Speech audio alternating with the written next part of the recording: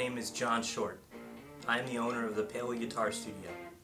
I've been teaching here for about five years, where I hold workshops, teach private lessons, and do studio recording.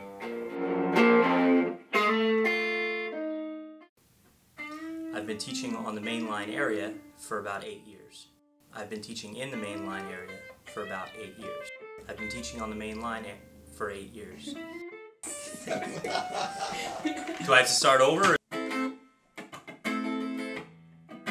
John, how long have you been teaching? About nine years. You're gonna kill me. I like working with people.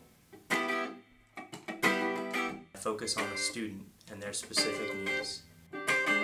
And behind that, I bring in all the different aspects of music, performance, music theory, knowledge about their instrument, and everything that they need to be a more well-rounded musician.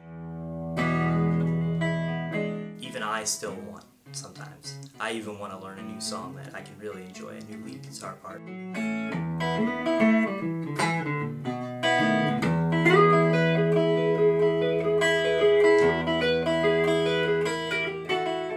Yeah, I played in all kinds of cover bands, original bands. I have music that I've produced on iTunes uh, with the artist Patrick Willis. I was in a progressive rock band for many years called Jocelyn Falls and played all over the uh, Philadelphia area.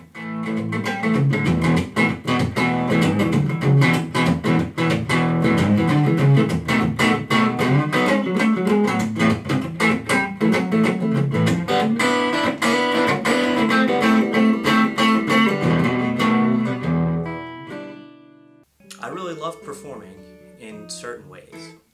But when I started teaching, I realized that it was just night and day. That all of the things that I loved about music and that I loved about studying music and listening to music were much more useful in the context of this interpersonal exchange.